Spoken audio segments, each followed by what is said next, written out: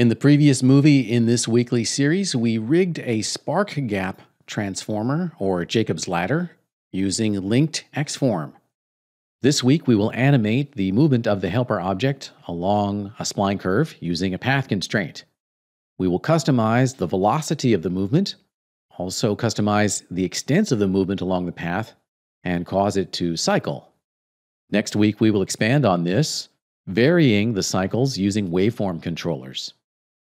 Select Spark Helper 001 and go to the Motion panel and open up Assign Controller. And we're going to assign a path constraint directly to the Position controller here, rather than doing it through the menus. And I prefer to do it this way because I avoid an unnecessary list controller. So I can just streamline the controller structure a little bit by doing it this way. Select the Position controller and then click the Assign Controller button. In the Assign Position Controller dialog, we want to choose Path Constraint and click OK. Doing it this way does not automatically assign the path, so we need to do that manually. In the path parameters, click the Add Path button, and then click on Electrode 001, which is a renderable spline object. And the helper object jumps to the start, or 0% along the path. And if we scrub in the timeline, we can see that over the course of 600 frames, it moves from 0% to 100% along the path. The Add Path button stays on, so that's a bit of an issue. You'll need to remember to turn that off by clicking it or by right clicking somewhere in the viewport. Also, in the path parameters near the bottom, there's an option for looping. What that does is if the percentage along path ever exceeds 100%, then it will simply loop back to 0% along the path. We don't want that, and we're going to manage looping in the curve editor, so turn loop off. Now we are ready to go into the curve editor. I recommend exiting the motion panel, maybe go to the create panel, and deselect the object, reselect the object, and then open up the curve editor from the main toolbar. I'll resize that window, and I want to frame the percent curve here. And normally we would click on frame horizontal and value extents, but that doesn't always work. Make sure that you're not actually selecting the Spark helper track at the top here. So if you need to click on some other track and then click on percent, just make sure that the percent track is the only one that has solid highlighting. Otherwise, you may have issues accessing some of the menus. So we can try to frame horizontal and value extents, but that doesn't always work. So we need to use the keyboard shortcut in this case, middle mouse to position the curve, control alt and middle mouse to scale vertically and or horizontally.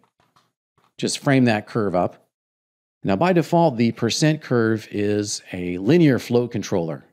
And we want some Bezier tangent handles on this in order to customize the movement. So right click on the percent track and choose Assign Controller.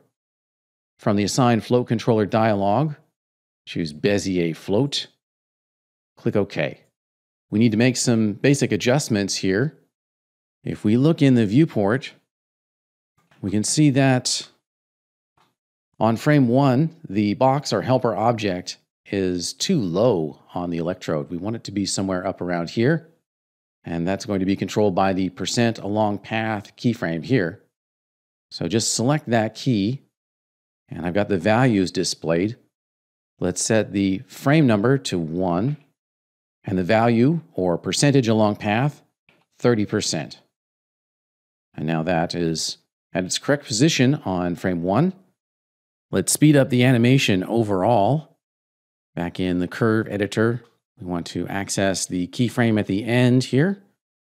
Click on that. And at frame 600, it is 100% along the path. Let's speed that up by sending it to frame 40. And then reframe our curve. It's going to be approximately a 40 frame cycle.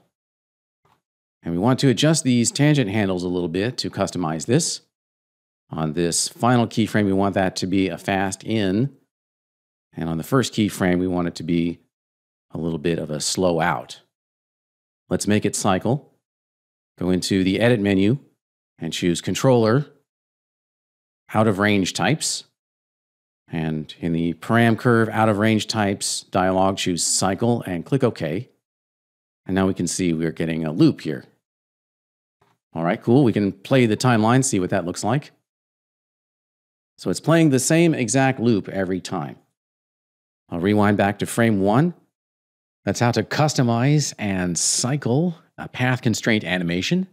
And next week, we will expand on this by modulating both the time and the value of this animation so that each cycle is different. And we will use a waveform controller to do that. Join me again next week when we will build further on this exercise.